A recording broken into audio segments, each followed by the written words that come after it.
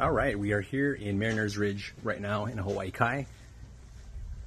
And we are doing this exterior paint job of this garage and the house here. And there's another trade working on the railings and the deck. And you can see the color of the house now is kind of like a kind of like a yellow color and we're going to change it to that blue color, the one you see on the left. This guy. So it's a sunny day, and you can see also we're doing some prep on the garage doors.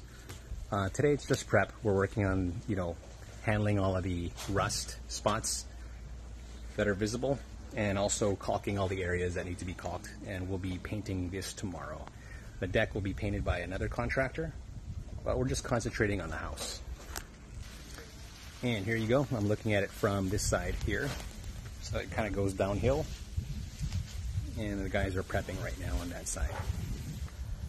And we got things set up on this side to make it easy to reach, plank and ladder.